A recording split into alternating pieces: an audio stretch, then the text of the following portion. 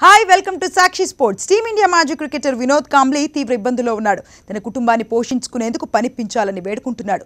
BCCI అందించే పింఛన్తోనే కాలం వెళ్ళదీస్తున్నట్టు చెబుతున్నాడు. తన మిత్రుడు సచిన్ టెండూల్కర్కు తన పరిస్థితి తెలుసన్నాడు. అన్నిటికీ అతడి నుంచే సాయం కోరలేనని చెబుతున్నాడు.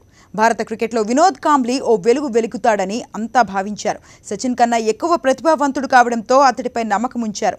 అతి విశ్వాసం నిర్లక్ష్యం చెడు అలవాట్ల వల్ల అతడు మధ్యలోనే కెరీర్ వదిలేయాల్సిన పరిస్థితి తెచ్చుకున్నాడు. రెండు వేల పంతొమ్మిది ముంబై టీ ట్వంటీ లీగ్లో కాంబ్లియో ఓ జట్టుకు మెంటార్గా పనిచేశాడు.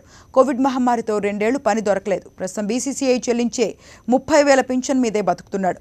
సచిన్కు అంతా తెలుసు కానీ అతడి నుంచి నేనేమీ ఆశించడం లేదు. టెండూల్కర్ మిడిల్ ఎక్స్ అకాడమీ బాధ్యతలు నాకు అప్పగించాడు. అందుకు సంతోషం. కష్టకాలంలో ఎప్పుడూ నా వెన్నంటే ఉన్నాడు. సుదూరం ప్రయాణించాల్సి రావడంతో నేనే ఆ పని మానేశానని కాంబ్లీ వెల్లడించాడు. డివై పాటిల్ స్టేడియం వెళ్ళేందుకు నేను ఉదయం ఐదు గంటలకే కారులో ప్రయాణించాలి. విపరీతంగా శ్రమించాల్సి వస్తోంది. మళ్ళీ సాయంత్రం బీకేసీ మైదానంలో కోచింగ్కి వెళ్ళాలి. నేను వీడ్కోలు పలికిన క్రికెటర్ను బీసీసీఐ పింఛన్ మీదే ఆధారపడ్డాను. బోర్డు మాత్రమే నాకు ఇప్పుడు ఆదాయ వనరు. అందుకు ధన్యవాదాలు. దాంతో నా కుటుంబాన్ని పోషించుకుంటున్నానని కాంబ్లీ అన్నాడు. ముంబై క్రికెట్ సంఘం సాయం కోరాను. సిఐసి కమిటీలో ఉన్నాను. అది గౌరవ పదవి కావడంతో డబ్బు రాదు. నా కుటుంబాన్ని చూసుకోవాలి. నా అవసరం ఉంటే ఖచ్చితంగా పిలవండని ఎంసీఏకు చాలాసార్లు చెప్పాను. వాంఖడే బీకేసీ ఎక్కడైనా పనిచేస్తాను ముంబై క్రికెట్ నాకెంతో ఇచ్చింది. ఆటకు నేను రుణపడ్డాను. వీడ్కోలు పలికిన తర్వాత ఆడలేం. ఆ తర్వాత బతకడానికి పని కావాలి.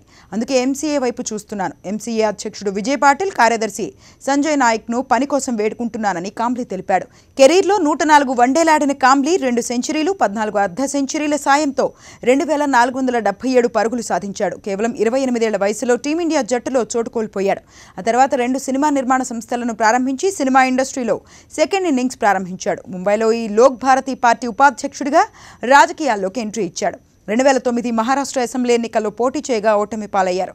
రెండు వేల పదిలో మోడల్ ఆండ్రియా హెవిట్ను వివాహం చేసుకుని ఆటపై అతడు ఫోకస్ చేసి ఉంటే ఖచ్చితంగా మళ్ళీ టీమిండియాకు ఆడేవాడని మాజీ క్రికెటర్లు కోచ్ రమాకాంత్ ఆచ్రేకర్లు పలు సందర్భాల్లో చెప్పేవారు.